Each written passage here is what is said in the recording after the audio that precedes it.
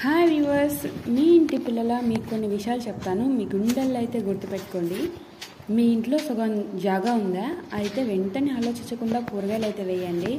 ఇక్కడ చూడండి నేను మా ఇంట్లో ఎన్ని కూరగాయలు అయితే వేసామో మా తాత పోతా పోతా కొంచెం ప్లేస్ అయితే ఇచ్చాడు. అది అంత ఇల్లు కట్టలేము అలా అని దాంట్లో ఇంకేమీ చేయలేము. అందుకని ఇలా మా ఇంట్లో కావాల్సిన కూరగాయలు అయితే పండిస్తున్నాము. గోవాకు అలాగే బెండకాయలు ఇక్కడ చూస్తే పుదీనా ఎంత ఉంది చూడండి. ఒక చిన్న మొక్క పెడితే ఇదంతా అల్లకపోయింది. ఇక్కడైతే కొన్ని పాదులు చేసాము వంకాయ చెట్లు అనేసి. ఇంకా మా పొలంలో అయితే చాలా రకాల చెట్లు అయితే వేసి పెంచి మంచిగా హార్వెస్ట్ వీడియోస్ పెడతాను. ఫస్ట్ టైం చూస్తున్న వాళ్ళైతే నా ఛానల్ మీద సబ్స్క్రైబ్ చేసుకోండి. ఇక్కడైతే తోటాకు చూడండి ఎంత బాగుందో. ఇక్కడ యువతలు కూడా ట్యామ్ ఉన్న దగ్గర కూడా మేము తోటాకు అయితే గింజలు చల్లేసాము. ఇది వంకాయ అండి. ఎంత లేదైనా ఒకసారి హార్వెస్ట్కి చాలా కూరగాయలు వస్తాయి. వాటన్నిటిని తింటూ ఉంటే ఎంత సంతోషంగా అనిపిస్తుందో. కోసేటప్పుడు కూడా అంత సంతోషంగా అనిపిస్తుంది. దీన్ని దీన్ని ఏమంటారు అంటే సొరపాడు అని అంటారు ఫ్రెండ్స్.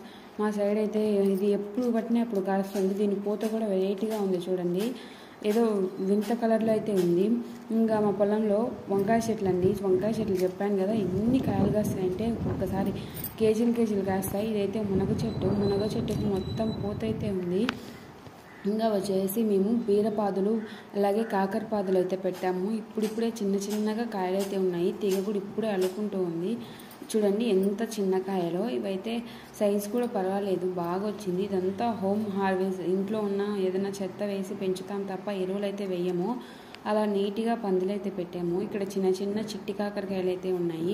వీటిని మసాలా కూర పెడితే చాలా బాగుంటుంది. నాకైతే చాలా ఇష్టము. ఇంకా వచ్చేసి మా చేలో మునగ చెట్టు ఒక చిన్నదైతే నాటాము. ఇంకా చూడండి జాంకాయలు ఇవి అయితే మేము ఎప్పుడు కొనుక్కోము. ఈ చెట్టు ఎప్పుడేమన్నా నాకు తినాలా అని అనిపిస్తే ఈ ఈ దొడ్లోకి అయితే వచ్చి దీన్ని మేము దొడ్డి అని అంటాము. ఎప్పుడైనా తినాలనిపిస్తే వెంటనే ఇక్కడికి వచ్చేసి మాకు నచ్చిన జాంకాయని తినే కోసుకొని ఉప్పు కారం పెట్టుకొని అయితే తినేస్తాము. ఎంత సంతోషంగా ఉందో కదా ఫ్రెండ్స్. అసలు చూస్తూ ఉంటేనే అన్ని సంతోషంగా అనిపించింది. అన్నీ మా తోటలోనే ఉన్నాయి కూరగాయలు.